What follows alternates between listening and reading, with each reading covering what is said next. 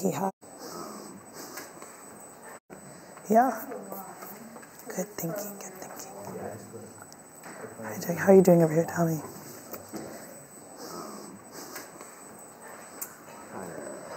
Yeah, yeah, yeah. So let's see. So you have this FFT equals zero, and that little FFT is stating the rate of money in which he wins. And so, and this one for A, that he's gain, neither gaining or losing. So yeah, so that rate is zero. Perfect. So now it's saying um, big FFT is how much money he has, the total amount of money. And so if he starts with five dollars, after one hour, how much money does he have? How much he has. Yeah.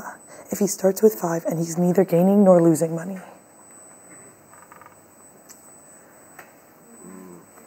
Yeah, it's just like wins in total. Means he's gaining for every hour.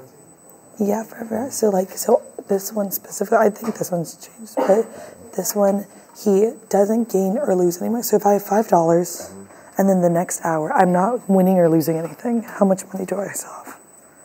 Still have five dollars. Five dollars exactly. And then after three hours, It'll be fifteen dollars.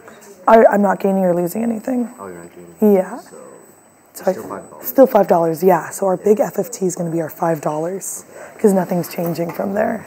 Yeah. Um, this one will be a little different though because he is gaining or winning money. Okay. But yeah, this one will be five dollars. Yeah. You got the worksheet? Okay. Cool. Cool. Cool. Hey, Terme, how you doing? Good. Good.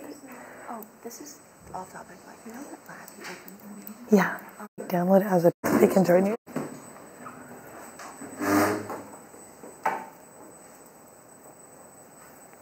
Okay, I see on Michael's paper you guys have big FFT is three, or is that little FFT? Little FFT. Little, why is little FFT three? Because little FFT is the rate that he earns the money, Mm-hmm. and the rate of big FFT is the 3T, so just the derivative of that, which is the 3.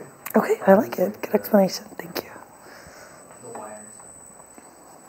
Like he starts with five, That's it's above zero. He's starting with and he's if he wins three dollars every hour, then it's like increasing.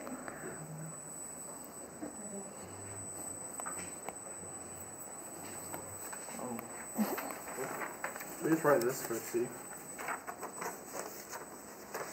Mm -hmm. Yeah. Hey. Um, so it just wants us to write, um, like.